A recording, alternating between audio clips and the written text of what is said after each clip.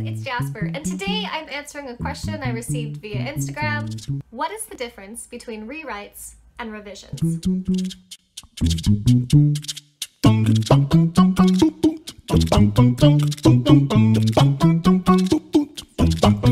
The main difference between rewriting and revising is that rewriting means more work than revising. For instance, if your teachers told you you need to rewrite your paper, you would understand that means you need to write it again. To rewrite is to write again.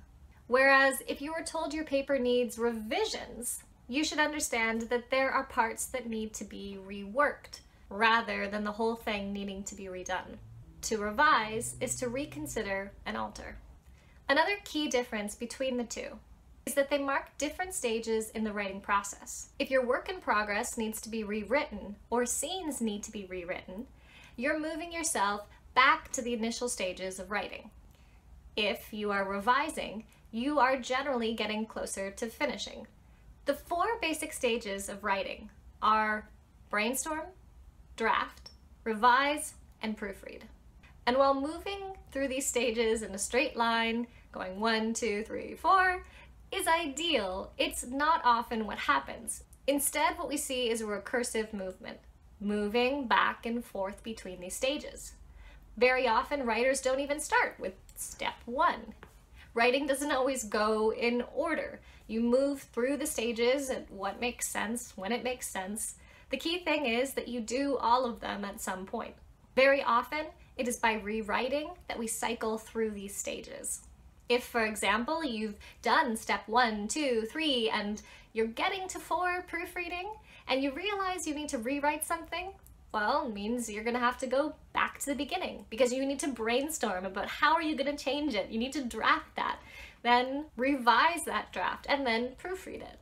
Rewriting can apply simply to a scene, chapter, section, or the entire novel.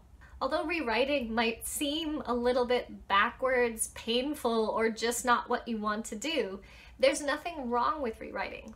In fact, it can be a crucial stage in getting your work in progress to the place where it needs to be. Often, it can be impossible to get a scene just the way we need it to be when we can't let go of how we wrote it initially. This is where rewriting comes into play. If I'm rewriting a scene, often what I will do is open up a blank Word document and without looking at my old draft, I will just write it again. So for instance, the other day I was rewriting a chapter, opened up a blank Word document, wrote the chapter from start to finish, and then after I'd done that, I looked over the old one and the new one side by side on my computer. Now, sometimes what happens is I go, I like this new one way better, and I can just simply cut out the old one and paste in the new one. Sometimes I decide, uh, actually, I think the old one was strong enough as it is, and I'm gonna keep it just as it was. Or often what happens is I realize there was something I really liked about the first one, and something I love what the new one brought in, and so I'll blend the two together. The key thing with rewriting is to give yourself space from the original draft.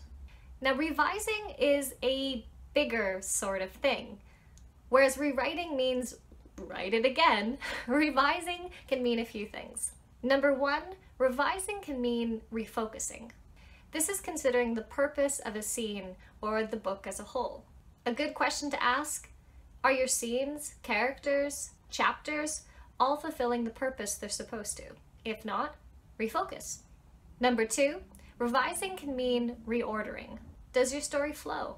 Sometimes creating an outline of what you've already written can be helpful to see if the characters and scenes all make sense the way they are.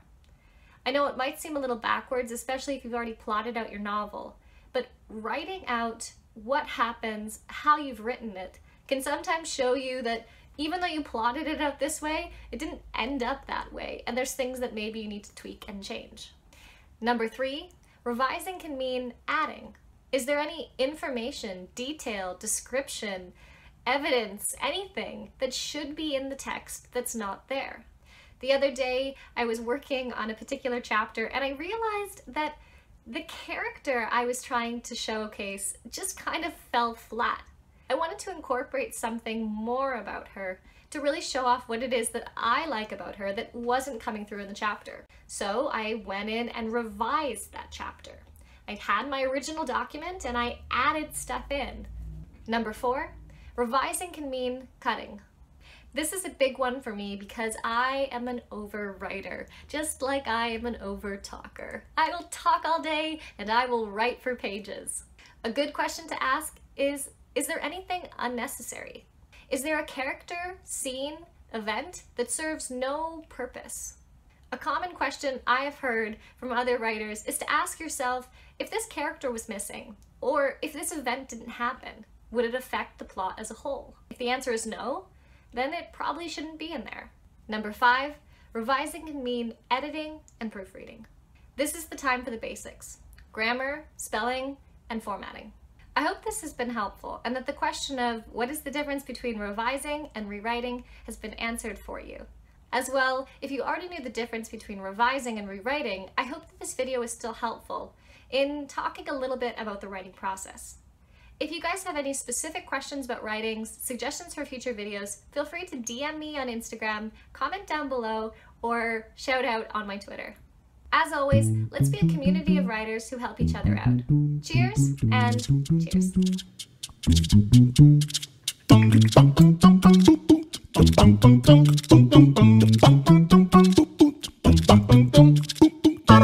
you.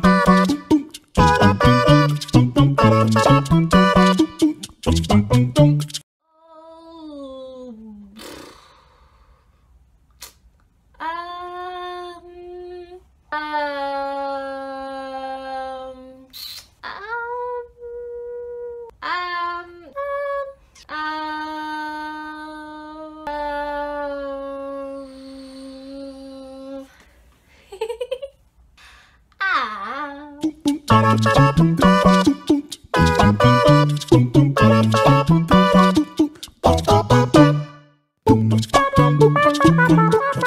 boom.